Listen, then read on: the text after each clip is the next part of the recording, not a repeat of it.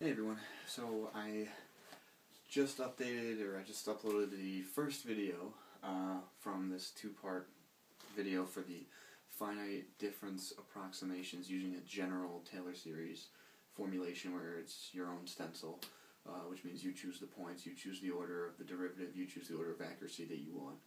So this is the example that I'm going to go through. I decided to go through the most basic example because uh, it's easy to see how it works and you'll be able to compare it to the other video I posted, which I'll put in the comments section, um, which is the first order forward. So first order derivative, first order accurate, first order accurate, forward finite difference. Um, so up here in the top above the blue line, I just rewrote the equation that was on the bottom of the previous video, which is also posted in the comments, or I'll post in the comments, not comments, the description. Um, okay, so that you should be familiar with, and then over here is the summation condition that I explained previously as well. So what I'm going to do is I'm going to go over the derivation for the first order forward difference, first order accuracy, um, and we can see that we should end up with the same result that we got from uh, from just using the Taylor series, the easier way. I mean, that was the easier way. The other method is the easier way for this, but once you get into higher order derivatives and more points, it's this way is a lot easier to use.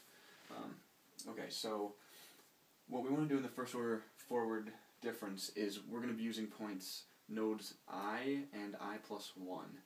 Um, and so that that's why it's forward because we're using i and then the one that's in front of it, which is i plus 1. So that means that um, if you remember from the from the Taylor series expansion, we have the u i plus p, which means that the u i is going to be at p is equal to 0. u i plus 1 is at p is equal to 1. So we're using p is equal to 0 and p is equal to 1. So what that means is um, we're setting, so remember the subscripts here on my alphas, again it's small because I tried to fit everything in, but I hope you can see it if you enlarge the screen. Um, the subscripts on the alpha term are the p values. So since we're not using nodes i minus 2, i minus 1, or i plus 2, those uh, coefficients are all going to be are all going to be zero because they won't appear in the finite difference equation. So we're going to set alpha minus 2, alpha minus 1, and alpha sub 2, they're all going to be zero. Um, so what we're trying to solve for now is uh, alpha, I think I said alpha before, alpha sub 1 and then alpha sub 0. So those are the two values that we need to solve for uh, to get this finite difference uh, approximation. So we're looking for the first order forward difference. So the first order derivative is du dx. So we're going to set the coefficient from du dx. This is going to be 1, like I talked about in the last video. The uh, and then, so the the second order derivative, third and fourth order derivative, those coefficients are all going to be 0. It turns out you don't need those ones for this method, but I'll explain, once I'm done with this, I'll explain why you would need those equations for higher order methods or more points. Um, okay, so again, like I said, the alpha sub minus 2, alpha sub minus 1, alpha sub 2 are all equal to 0. So if we use the summation condition, which is, you can see here, uh, we're going to have from P1 is negative 2 to P2 is 2. We're going to have alpha sub minus 2 plus alpha sub minus 1 plus alpha 0 plus alpha 1 plus alpha, alpha 2 is equal to 0. Uh, since we already said that all these three are equal to 0, what we can do is, you know, this is 0, this is 0, we're using alpha sub 0, we're using alpha sub 1, we're not using alpha sub 2. So what we have is alpha 0 plus alpha 1 is equal to 0. Um, okay, so now we're going to use the coefficient, this piece of information here, so it's kind of color-coded. Uh, the du dx is equal to 1, so we're going to use this coefficient here of the first order derivative term which we're solving for. We're going to set that coefficient equal to 1. So setting that coefficient equal to 1, we have the negative 2 alpha minus 2, negative alpha minus 1, plus alpha 1 plus 2 alpha 2 is equal to 1. And that's what I've written here. I added the plus alpha 0 in there because it's I didn't incorporate it up here, but you know we need it in here. Um, so again, we have alpha sub negative 2 is equal to 0 here. Alpha sub negative 1 is equal to 0. Um, this is just 0 because the coefficient in front of it is 0. I just wanted to put it in there to show you. Uh, and then the alpha 2 is going to be 0. So what we end up having is just alpha 1 is equal to 1, and that's what I've shown here. So what happens is if you combine the two, so you've already solved for alpha 1, so you know that coefficient. So alpha 1 is equal to 1, you plug that into here, and that means alpha 0 is equal to negative 1. So what we want to do now is that we have the two coefficients. We can plug it. We can plug them back up into here, um, and then we'll solve for our final finite difference equation. So we'll plug it into here first. So the first term, it's still a summation from P1 to P2. When we pick P1 is negative 2, P2 is 2. So we're still summing over everything, but we don't need to worry about the negative 2, negative 1, or 2 terms because when we multiply by alpha, it's going to be 0.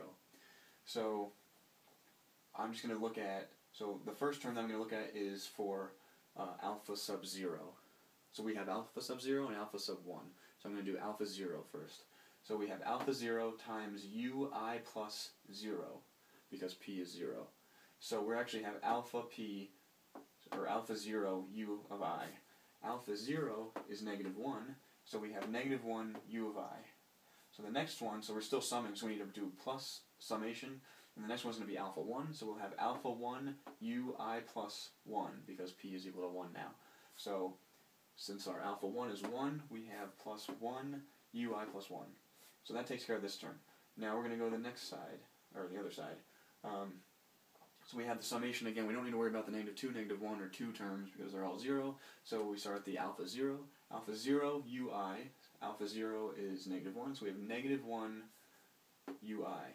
The next term is alpha 1. So we're going to add the alpha 1 ui. And there's no p in this, so you can see that they end up canceling out because you have a negative 1 ui, and then from your one your alpha 1 term you have plus 1 ui. So these two cancel out. Now we're going to go this next one here for the first order derivative. So we're again do the summation. Um, and uh, I don't know why I have the summation there, to tell you the truth. Because that is the summation there, so that was, okay, there's an addition sign there. My, my bad on that one. So this takes care of the summation. So what we do is we plug in the values that we have, so we know that the alpha 2 or alpha minus 2 is 0.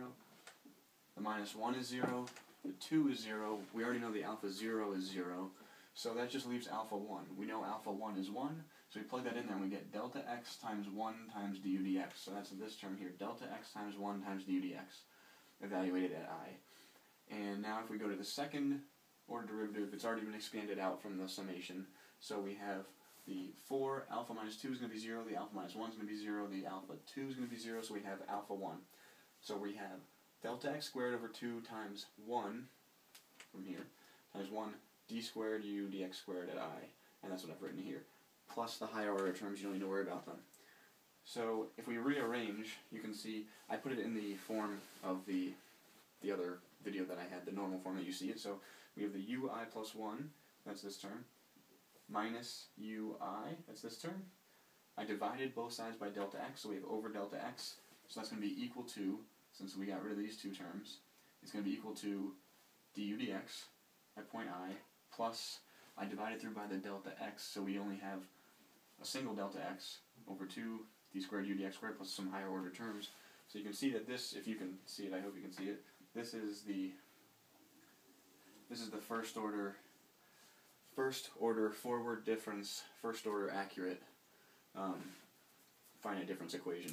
And the truncation error, you can see that this is plus order delta x from this term here. So anything behind from this term and on, that's the truncation error. Uh, and it's the same as our first order finite difference equation that we derived in the other video.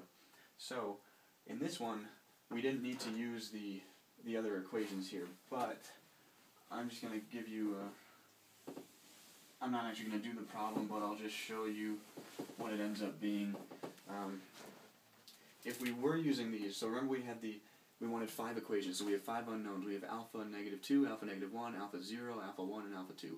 So we have five unknowns, we need five equations. So we have the four equations from the derivatives, and then we also have the summation condition. So what that ends up being, if I write the summation condition first, I'm going to write it in matrix form, and I'm assuming you're all well versed in uh, matrix math, um, at least to a basic level. So if I write it in matrix form, the summation condition is going to give me, they're all going to be 1. So, I, so you're going to have uh, 1, 1, 1, 1, 1, and over here we're going to have alpha negative 2, alpha negative 1, alpha 0, alpha 1, alpha 2, and then we're going to have our equaling matrix here, and that's going to be, the summation condition is equals to 1, right?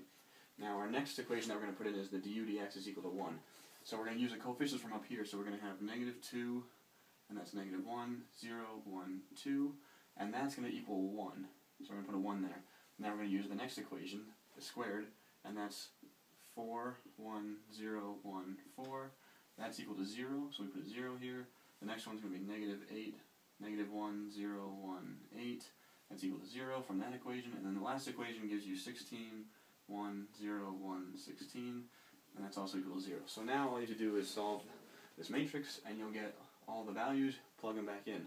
Um, if you choose to look at a second order derivative, all you have to do is simply change this to a 0, change that to a 1, change this to a 0, change that to a 1, and there you go. Um, so that's the way that you can make your own stencil. You can use more points. Uh, you can. It's a little harder to specify your accuracy and solve for that, but if you know kind of, if you can look ahead and you can say, oh, I want second order accuracy, then you can kind of figure out which things you need to put in to get that order of accuracy. Uh, but usually, if you use more points, you get a higher order of accuracy. So, uh, I hope that helps explain this because it's a little confusing. If you have any questions, just let me know in the comments, and I'll try to uh, I'll try to answer them as best I can. And if you want to see some other examples uh, using this method with uh, with higher order, you know, like fourth order derivatives or higher order accuracy, just let me know and I'll post a video of that too because I have some examples ready for that. Uh, thanks for watching.